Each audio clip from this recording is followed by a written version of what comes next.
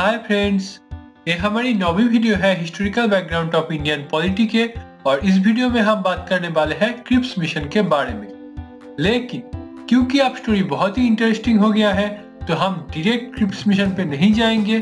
पिछले वीडियो को हमने जहाँ पे छोड़ा था, वहीं से शुरू करेंगे और आगे जाके क्रिप्स मिशन तक पहुँचेंगे। तो चलिए बिना वक्त गवाए देख लेते हैं एक क्विक रिकैप तो पिछले वीडियो में हमने ये देखा था इलेक्शन जीतने के बाद इंडियन नेशनल कांग्रेस ने इंडिया के बहुत सारे जगहों पे अपना सरकार बनाए थे। और वो लोग बहुत अच्छे तरीके से काम भी कर रहे थे। लेकिन क्योंकि वक्त था वर्ल्ड वार टू का, और ब्रिटिश गवर्नमेंट ने उन्हें बिना बताए ही हमें वर्ल्ड वार टू का एक हिस्सा बना दिए थे, और इससे वो लोग बहुत नाराज़ हो गए। लेकिन फिर भी सिचुएशन को देखते हुए वो लोग ब्रिटिश गवर्नमेंट के सामने दो प्रपोजल रखे रिस्पॉन्सिबल गवर्नमेंट और एक कॉन्स्टिट्यूएंट असेंबली की।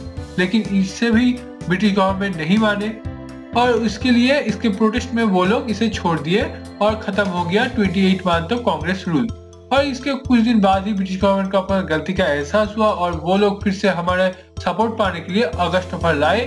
लेकिन उसमें कहा गया था डोमिनियन स्टेटस के बारे में, हमें चाहिए था कॉम्प्लीट फ्रीडम तो हम इस बात को नहीं माने। और इसके बाद गांधी जी ने इंडिविजुअल सत्याग्रह की ऐलान किया और फिर सारे लोग घर बैठे बैठे ही आंदोलन करने लगे और आंदोलन बड़ा होता रहा। और इस बार ब्रिटिश गवर्नमेंट सोचने लगा, अब क्या किया जाए? अब तो सारे लोग घर बैठे आंदोलन कर रहे हैं। अब घर जाके तो सबको पकड़ नहीं सकते। तो उनके दिमाग में एक आइडिया आया। कुछ बहुत अच्छा आइडिया नहीं था, वही घिसी पिटी सी आइडिया था। एक एक्ट बनाया उन्होंने डिफेंस ऑफ़ इंडिया एक्ट और हमें दबाने की कोशिश किया। लेकिन हम फिर भी आंदोलन करते रहे। लेकिन क्योंकि वर्ल्ड वार टू चल रहा था तो चीज़ों की दाम बहुत बढ़ रहा था और बहुत सारे लोग मर रहे थे और हमें आज़ादी का कोई नामो निशान तक नहीं दिख रहा था। इसलिए हम परेशान होने लगे। और उधर दूसरी ओर, ब्रिटिश के जितने भी मित्र देश थे, वो सब कहने लगे कि इंडिया तुम्हारा इतना बड़ा कॉलोनी कंट्री है, फिर भी तुम क्यों उसका मदद नहीं ले रहे हो? कुछ भी करो, उसका मदद लाओ। और इसी के लिए ब्रिटिश गवर्नमेंट ने हमें कहा कि आप लोग आंदोलन मत कीजिए। देखिए हम स्टीफोर्ड क्रिप्स को भेज रहे हैं लंदन से, वो जाके पक्का आपका प्रॉब्लम सॉल्व करेगा। और ये सुनने के बाद तो हम बहुत खुश हो गए। और जैसे कि आप ब्लैक एंड व्हाइट पिक्चर में देख सकते हैं कि हमारे सारे लीडर्स कितने खुशी खुशी स्टेफोर्ड क्रिप्स के साथ बातें कर रहा है। एक्चुअली हमें इस बार लगा था कि क्रिप्स मिशन हमें कुछ देने वाला है। लेकिन हमारी यह खुशी ज़्यादा देर तक टिका नहीं, क्योंकि जो पहला ही प्रपोजल निकला, वो फिर से था डोमिनियन स्टेटस और इससे हम बहुत नाराज़ हो गए। मतलब ये तो हमारे साथ मज़ाक था। पिछले बार हमने अगस्त ऑफ़र को इसलिए नहीं माना था। और इस बार तो साथ में ये भी कहा कि डिफेंस उनके पास रहेगा और भाईसरा की पोस्ट भी वैसे की वैसे ही रहेगी। तो हमें क्या मिला? हमसे कहा गया कि हमें मिलेगा एक कॉन्स्टिट्यूएंट असेंबली कब? वो भी जंग खत्म होने के बाद। और ऐसे डोमिनियन स्टेटस के साथ जो इंडियन यूनियन बनना था उसमें भी वो सेपरेशन की पॉलिसी को बहुत ही अच्छे तरीके से यूज़ किए थे।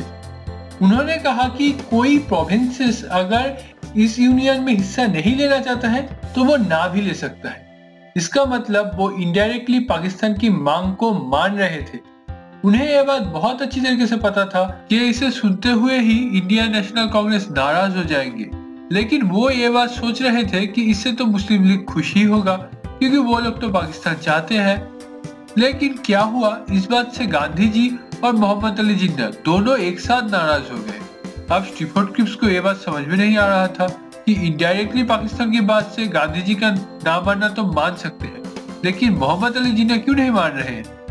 तो उनका कहना यह था कि मुस्लिम लीग चाहता है पाकिस्तान वो भी डायरेक्टली ऐसे इनडायरेक्ट कहने से वो लोग नहीं मानने वाले हैं।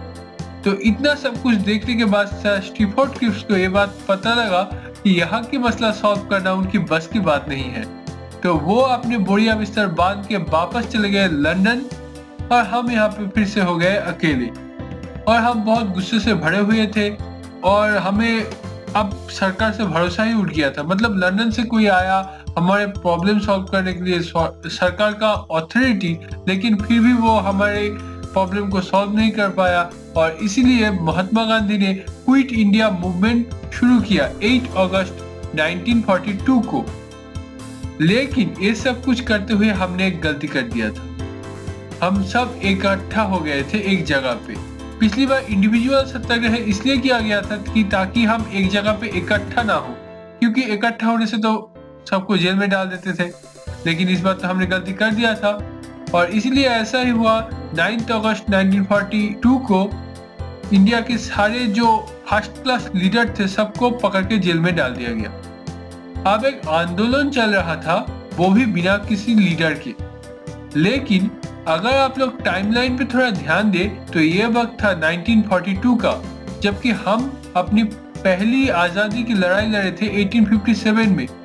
बीच में जो लगभग 100 साल के वक्त था इसमें हम सीख गए थे कि कैसे एक आंदोलन लड़ा जाता है। और इस दौरान हालाँकि कोई लीडर नहीं था हमारे पास, लेकिन अंडरग्राउंड काफ़ी सारे लीडर बन चुके थे, जो हमें वक्त वक्त पे इंस्ट्रक्शन देते रहते थे कि हमें क्या करना चाहिए। और जब मैं ये वीडियो बनाने के लिए थोड़ा रिसर्च कर रहा था तो मुझे एक कमाल की बात पता चला। उषा मेहता नाम की एक फ्रीडम फाइटर ने उस दौरान हमें मैसेज देने के लिए अपना एक रेडियो चैनल ही शुरू कर दिए थे जिसे कहा जाता था कांग्रेस रेडियो। लेकिन क्योंकि इस दौरान गांधी जी नहीं थे तो इस आंदोलन में हिंसा भी बहुत हुआ। मतलब लिथिंग लो ने तो ये बात कही दिए थे कि सबको पहले पीटो, बाद में जेल में डालना। और हमने भी सरकार के अथॉरिटीज को बहुत अच्छी तरीके से पीटे। इस दौरान तो एक बहुत ही अच्छा ट्रेंड चला था पैरालल गवर्नमेंट का। क्योंकि इस दौरान हम अलग अलग जगहों से सरकारी ऑफिसर्स को हटा के वहाँ पे खुद का गवर्नमेंट चला रहे थे।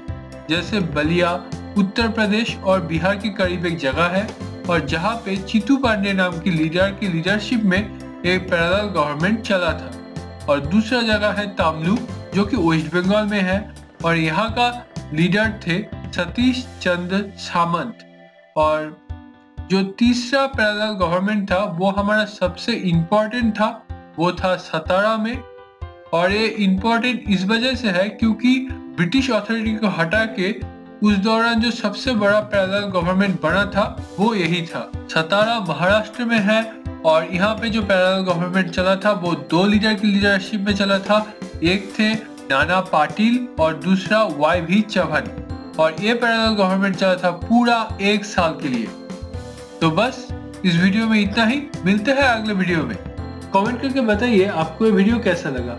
अच्छा लगा है तो लाइक कीजिए शेयर कीजिए अपने फ्रेंड्स एंड फैमिली के साथ। और अगर आप हमारे वीडियोस को मिस नहीं करना चाहते हैं तो सब्सक्राइब करने के बाद बेल बेल आइकन पे क्लिक करना। इससे जब भी हम कोई नया वीडियो अपलोड करेंगे, आपके पास नोटिफिकेशन आ जाएगा। Finally thanks for watching